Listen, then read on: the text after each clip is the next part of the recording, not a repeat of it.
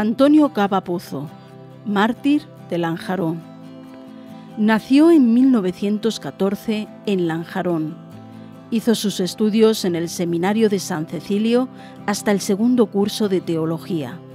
Era un seminarista especialmente dotado intelectual y espiritualmente. En vacaciones desarrollaba una intensa vida apostólica con los jóvenes de Lanjarón, también desde el seminario por medio de cartas. Decidido a una mayor entrega en el seguimiento de Cristo, quiso ser jesuita, pero Dios llevaría su ansia de perfección por otro camino, el del martirio.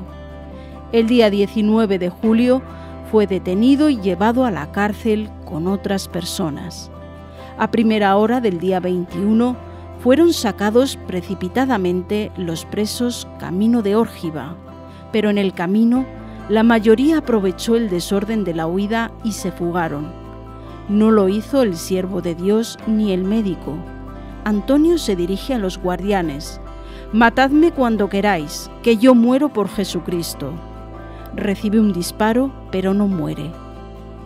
Muy mal herido, es trasladado a Granada, pero ante lo irreversible de su situación, lo volvieron a Lanjarón, donde murió. No tenía 22 años.